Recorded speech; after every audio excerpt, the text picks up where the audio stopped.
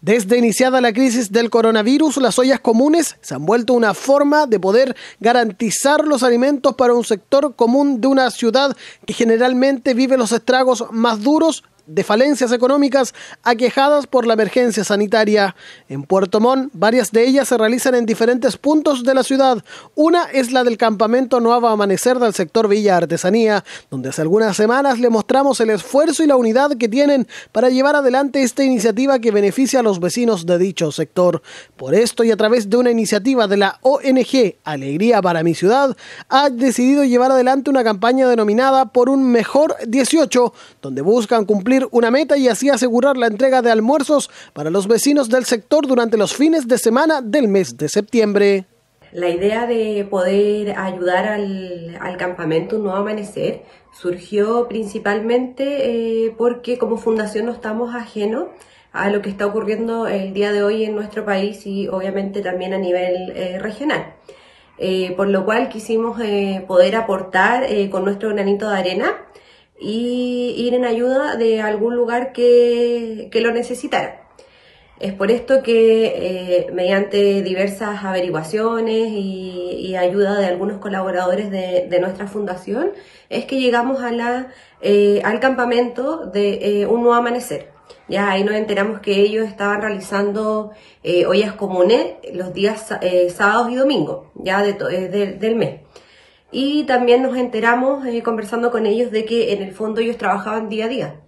Según lo establecido dentro de la planificación de la ONG, se espera juntar una importante cantidad de alimentos para que así los vecinos de este sector puedan tener un almuerzo asegurado durante los fines de semana del mes patrio pudiendo hacer eh, con ello una proyección de, de, ayuda mensual, ¿ya? De poder asegurar eh, estos ocho días al mes de alimentación para las 85 familias que, conforman este campamento. Ya para eso, eh, lo que estamos trabajando en estos momentos es eh, la campaña por un mejor 18, ¿ya? en la cual estamos armamos una minuta y con eso estamos reuniendo distintos alimentos que van a, ser parte de estas comidas que van a ser entregadas a la familia. El llamado a cooperar se ha estado promocionando a través de las redes sociales, donde el periodista Carlos Zárate ha dado a conocer esta importante iniciativa que beneficia a los vecinos de un importante sector de Puerto Montt. La idea de Conversando para Ayudar surge de la necesidad de apoyar a aquellas obras que no tienen mayor difusión, que pese a que lo intentan, no entran en los grandes circuitos de comunicación y por eso eh, creé este espacio eh, todos los martes a las 20.30 para ir destacando una obra que puede ser una olla común o puede ser una agrupación en beneficio o algo que necesita que pues, la gente que sigue mi cuenta eh, se entere y pueda participar. Los vecinos y dirigentes son los más contentos con una iniciativa que busca asegurar su bienestar durante las fiestas patrias más complejas que se recuerden en los últimos años. Con el presidente y la directiva tomamos la decisión de, implantar la ollita, empezamos de a poco, de ajo, con la ayuda de, de otro amigo igual, de otro amigo de, de otra olla, una olla itinerante, y logramos captar la ayuda de, aquí, de, aquí y por allá de varias personas más y que esa fue la instancia del inicio de nuestra olla común. Ahora, eh, ¿cómo lo recibimos? De muy buena manera.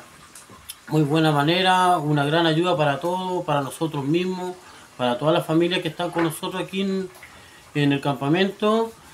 Y esta ollita en este momento para 150 personas la cantidad. La cantidad.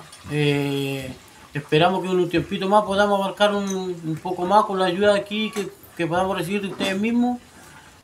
Para ser parte de esta iniciativa, la ONG Alegría para mi ciudad ha puesto a disposición una serie de cuentas bancarias para así poder ser parte de esta iniciativa que busca entregar una luz de esperanza en medio de la crisis que ha llegado aquejada producto del COVID-19.